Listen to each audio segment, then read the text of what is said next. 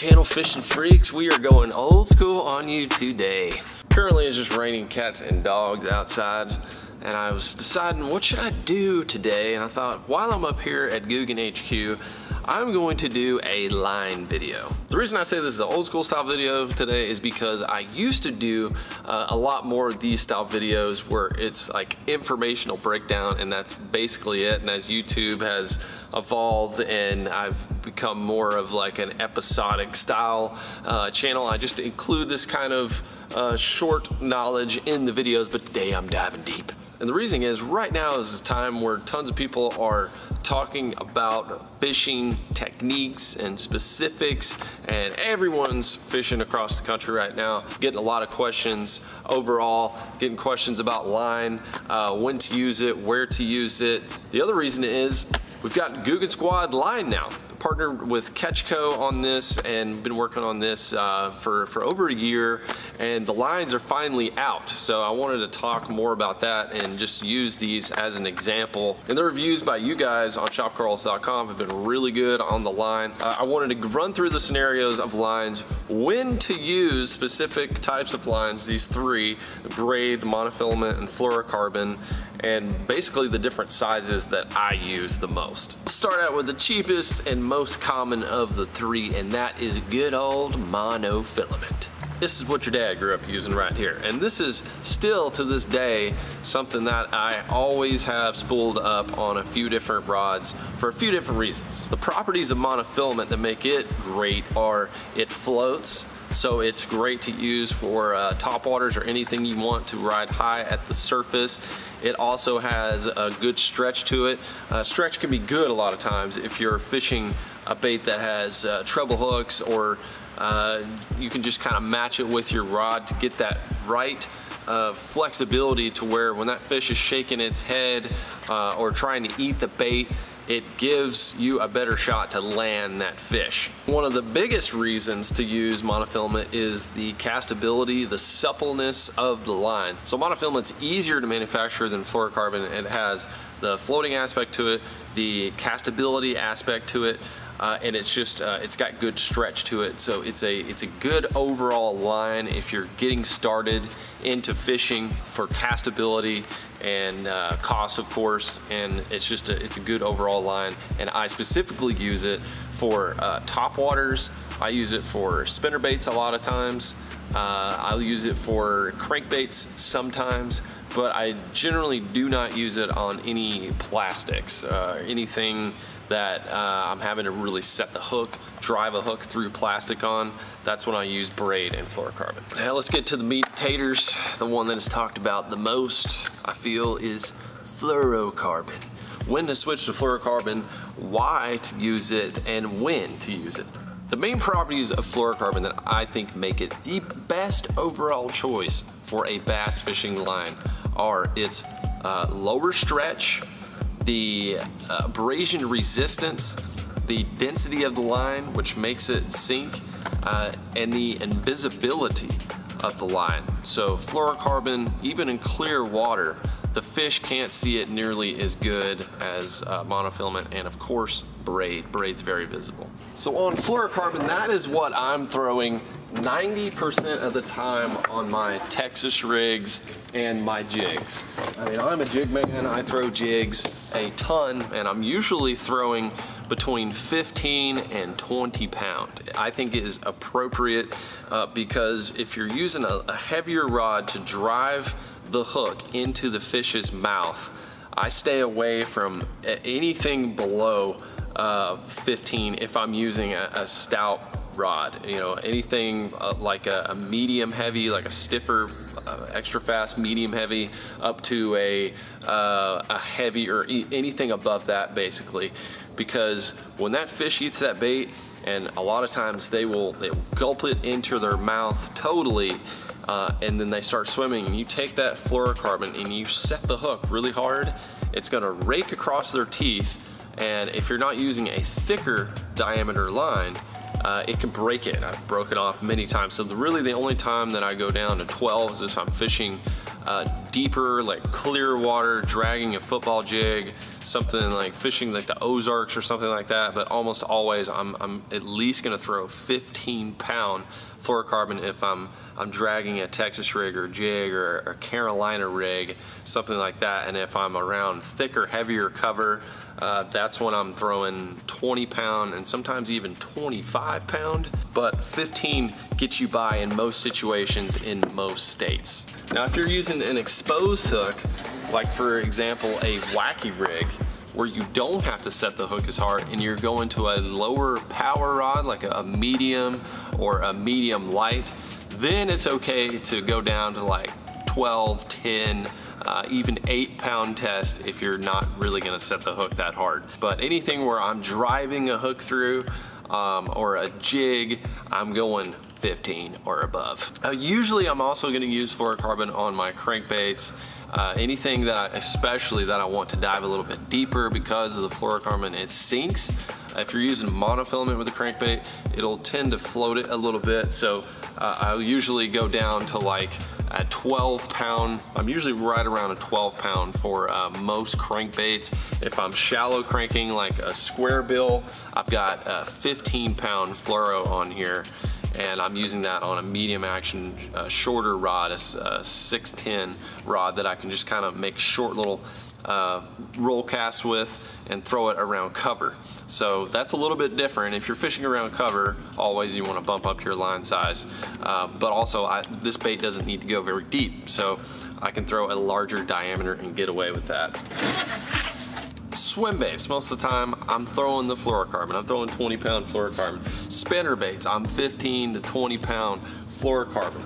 Anything that I'm fishing around cover uh, and it's a moving bait, it's usually 15 to 20 pound fluorocarbon. I would say 100% if you have to get one line, a general use line, get 15 pound fluorocarbon. You can do so much with it. It's like the seven foot medium heavy action rod of line gotta have this one. Now last and certainly not the least and strongest of them all is braided line. If you've never used braided line, the properties on braid are there's just about zero stretch to it. So you can cast that thing as long as you can. Fish eats it, you set the hook, it's about the same as if the fish was five feet away. That's one of the uh, best factors about braided line is the hook sets uh, you're getting maximum power. The other thing that's great about it is the diameter is much thinner compared to monofilament or fluorocarbon. One of the bad things about braid is it's pretty much string. You can see it in the water. I mean, fish can see it clear as day. Abrasion resistance is a little different. So braid is great in, in grass and in logs and trees, things like that. But around rocks, around hard cover, uh, it, it, it is less than fluorocarbon. I know that sounds strange, but if you think about uh, how easily you could take a knife up against braid and cut it versus fluorocarbon, it's actually a lot easier. If your line is tight, just to slice right through braid because of all those little tiny little strands than fluorocarbon, which is more of like a plasticky feeling material and will kind of fray uh, and shred before it cuts all the way through, whereas this is just done. What does that mean in real life bass fishing situations? Well, if you're flipping heavy grass, trees, uh, you got to get a fish out of something, maybe heavy dock cover, things like that. That's not metal.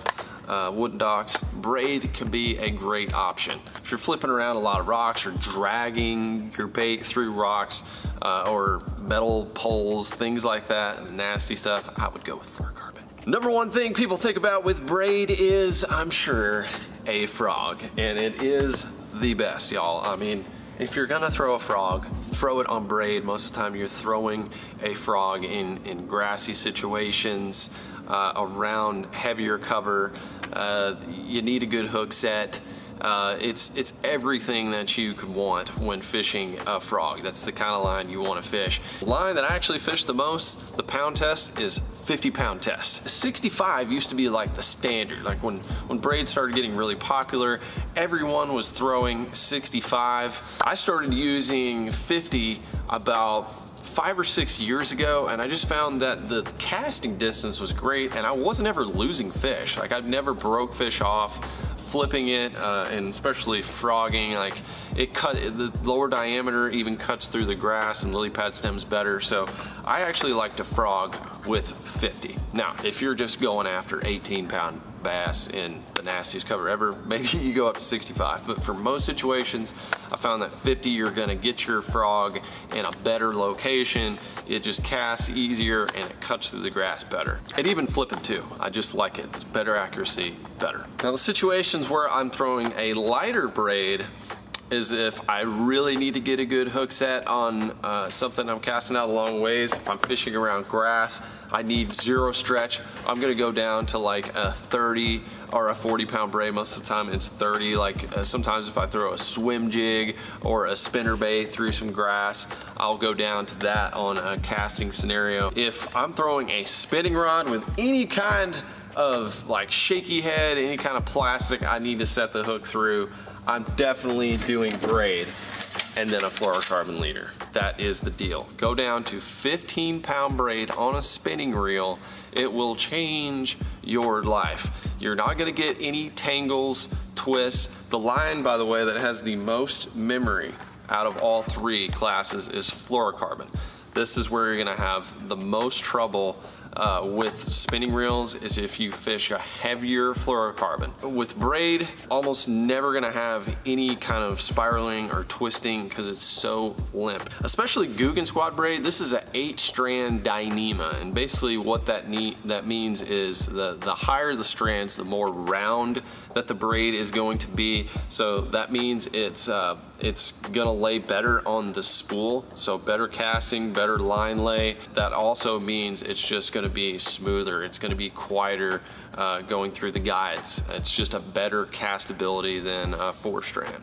Adding the fluorocarbon leader to the braid on a spinning setup uh, for fishing little shaky heads and other little finesse things like this is just amazing. So I think for most water situations, 15 pound braid, uh, and then put you a 12 to 15 pound fluorocarbon leader on there and tie tie a knot to that and that's a that's a whole nother knot y'all can look up double uni knots and things like that on YouTube and check that out but that combo right there it is I think unbeatable in terms of like getting a hook set uh, plus the invisibility and if you tie a good knot on there you're just gonna catch so many more fish. You're gonna feel a lot more bites. So that is the breakdown of lines in general, fluorocarbon, monofilament, and braid. If there's another type of line out there that I didn't mention that you use, let me know in the comments, but I think I covered them all. And there's more sizes coming in July. So there's gonna be uh, 17, 20, 25 in the fluorocarbon. We're going up to 65 on the braid. Uh, there's even some more sizes in the monofilament. One more thing to talk about that I did see in some comments about the line was uh, you know that it's made in Japan that it wouldn't be as good as the stuff made in uh, USA and that's just not true. The reason that we sourced this line out of uh, out of Japan is because they make the best fishing lines. The, the stuff that I was using uh, before I started using uh, Googan line was made in Japan. A lot of the other tackle that I use, high-end stuff, uh, is is made in Japan. They make very very good uh, fishing lines. They make they make the best. Uh, so when you start doing uh, research to find the best manufacturers for these things, you wind you wind up there. So it's definitely not a bad thing. Just wanted to point that out. Premier place to get the line right now is shopkarls.com. You will get this as well as everything off the site 30% off if you sign up to be a Shop Karls member plus free shipping on anything. So it's actually a good deal if, if you're gonna buy some tackle this year. If you've already tried the line out, hopefully you like it, but let me know in the comments. Like I said, I've been using this stuff on my reels for a long time. Many, many videos that y'all have seen and uh, caught some really big bass and I've just, I've been uh, happy with the, the castability, uh, their performance, uh, especially on the fluorocarbon, which is what I use the most and I just think uh, it's it's a win-win. I just think that the squad and our partners at Catch Co, we did a good job on it. So glad to tell you about it. And it's been a while since we've done one of these deep dives into the technique specific stuff. Uh, so if you like that, let me know in the comments as well. So that is what I have for you today, everybody. If you want to check out the home blogs, I will uh, leave them linked down below. Uh, I'm going to be uploading some of those while I'm overseas in New Zealand. All right, y'all, I'm going to get out of here. I love you. Thank you for subscribing right here to the channel, and we'll see you right back here on the next one. Later.